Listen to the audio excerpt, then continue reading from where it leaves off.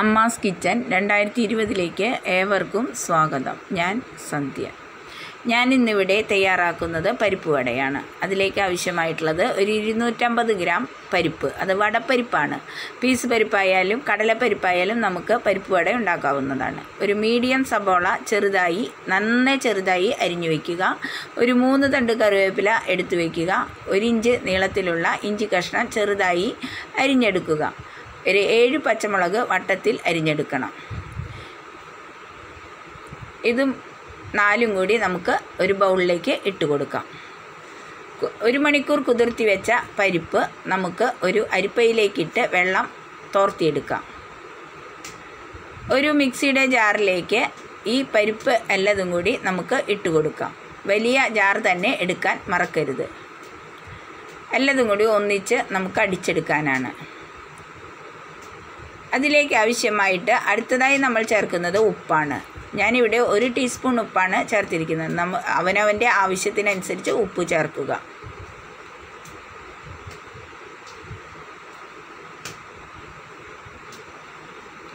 ഒരു മുക്കാൽ ടീസ്പൂണോളം മഞ്ഞൾപ്പൊടി ചേർത്ത് കൊടുക്കുക. അടുത്തതായി ഞാൻ ഇതിലേക്ക് ചേർത്ത് കൊടുക്കുന്നത് ഒരു ടീസ്പൂൺ മുളക് പൊടിയാണ്.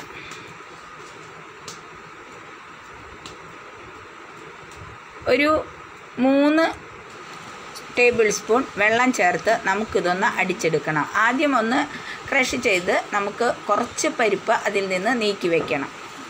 ബാക്കി നല്ലവണ്ണം ഒന്ന് അടിച്ചെടുക്കുക. അത് ഈ അരിഞ്ഞ കൂട്ടിലേക്ക് ഇട്ട് കൊടുക്കുക. കൈ വെച്ച് തന്നെ നമുക്ക് നല്ലവണ്ണം അത് മിക്സ് ചെയ്തെടുക്കാം.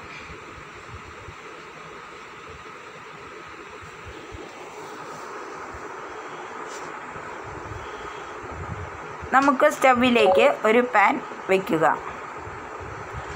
പാൻ ചൂടായി കഴിയുമ്പോൾ വറക്കാൻ ആവശ്യമായ സൺഫ്ലവർ ഓയിൽ ഒഴിക്കുക. വെളിച്ചെണ്ണ ഉപയോഗിക്കുന്നവർക്ക് വെളിച്ചെണ്ണ ഉപയോഗിക്കാം. ഞാൻ സൺഫ്ലവർ ഓയിലാണ് വറക്കുന്നത്.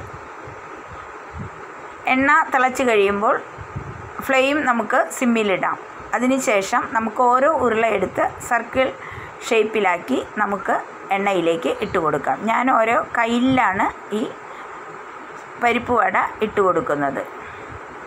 തിളച്ച എണ്ണയിലായതുകൊണ്ട്.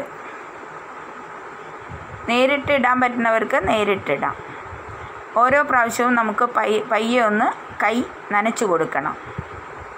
ഒട്ടിപ്പിടിക്കാതിരിക്കാനാണ്.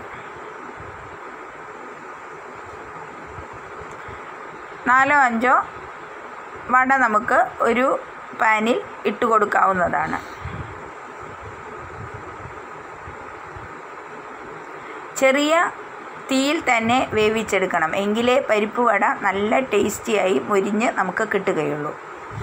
ഉള്ളൊക്കെ നല്ലവണ്ണം വേവണം. അതിനാണ് ഫ്ലെയിം തീരെ കുറച്ച് വയ്ക്കണമെന്ന് പറയുന്നത്. തിരിച്ചു മറിച്ചുമിട്ട് നല്ലവണ്ണം മുരിച്ചെടുക്കാൻ നോക്കണം.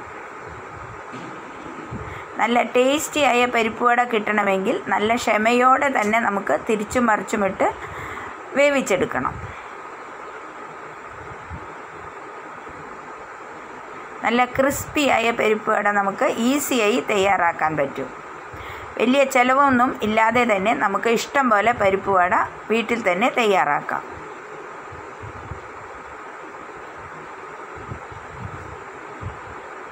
ചായക്കടയിലും ബേക്കറിലുമൊക്കെ കിട്ടുന്നതിനേക്കാളും ടേസ്റ്റാണ് നമ്മൾ വീട്ടിലുണ്ടാക്കുന്ന പരിപ്പ് വടയ്ക്ക്.